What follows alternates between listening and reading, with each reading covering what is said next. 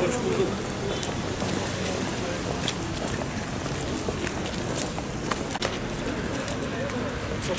Bura- Burayı şöyle e, birinci etapa projesi onaylanması için projemiz iki aradan yukarıya doğru devam ediyor. Var mı sıkıntı? Ufak sıkıntı var. Fazla ufak bebek şeydi orada da Bunları gideriyor. Daha e, geçici kapıda yapmadık. Yani bazı mecburiyetler olabilir ama genel çerçeve olarak, genel ülke olarak ahşap kullanıyor.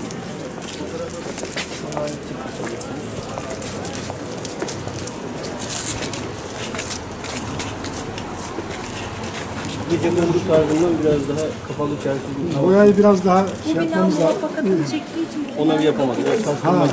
Yukarıda pastırmak unutuyormuş. Çay ocağının sahibi kardeşimiz. Emekli öğretmen eee hocam. Hoş bulduk. Ne var ne yok. Çay içelim. Buyurun bakalım. Abi namazı kılalım ondan sonra çay içeriz. Bekliyoruz. Çay içeriz. Tamam. Selamünaleyküm.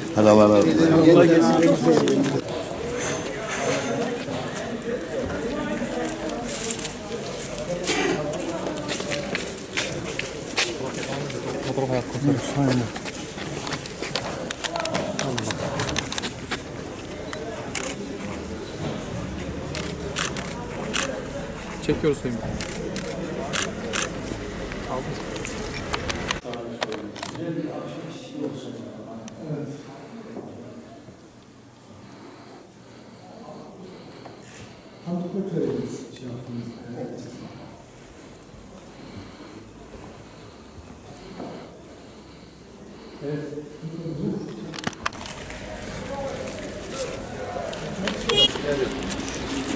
katta bodrum açılmış. Oraya da e, kalorifer dairesi dizayn edilmiş.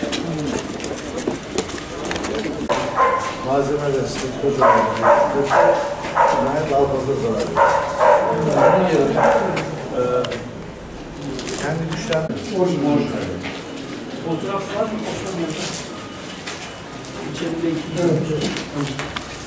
Dolayısıyla burası abi e, bahçesinde kullanacak. Vatandaş çoluğuyla, çocuğuyla, hanımıyla gelecek, oturacak. Düğünlü derneğini yapacak, sosyal etkinliğini yapacak.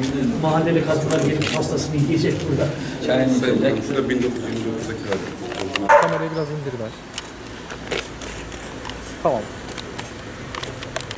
Sinop ilimizi gezdik. Tabii Sinop'taki bakanlığımızın, e, tabii Sinop biliyorsunuz kültür ve tarih açısından çok zengin bir ilimiz. E, doğal güzellikleri olağanüstü e, düzeyde olan bir ilimiz. Hem kültür alanında hem turizm alanında önemli şehirlerimizden bir tanesi. Biz de çalışmalarımızı yerinde görmek üzere geldik. Sayın milletvekilimizle, valimizle, STK'larımızla, ilgili tüm arkadaşlarımızla hem Sinop'ta incelemeler bulun- incelemelerde bulunduk. Başta Sinop cezaevindeki restorasyonumuz olmak üzere. Sonrasında Boyabat ilçemize geldik. Tabi biliyorsunuz Orta Çarşı'da e, etaplar halinde yürüttüğümüz restorasyon çalışmalarımız var. E, hem bunların değerlendirmesini, yerinde incelemelerini, sonuçlarını gördük. İkinci etapa bir an önce başlamak için çalışmaları gözden geçirdik.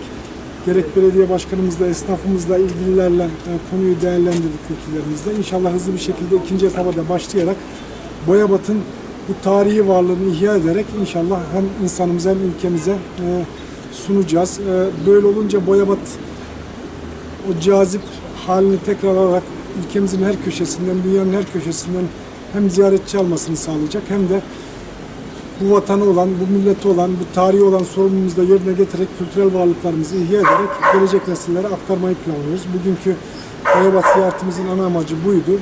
Yerinde incelemelerimizi yaptık. Güzel, verimli bir çalışma oldu. İnşallah bunları daha hızlı bir şekilde, daha verimli bir şekilde devam ettireceğiz. Teşekkür ediyorum.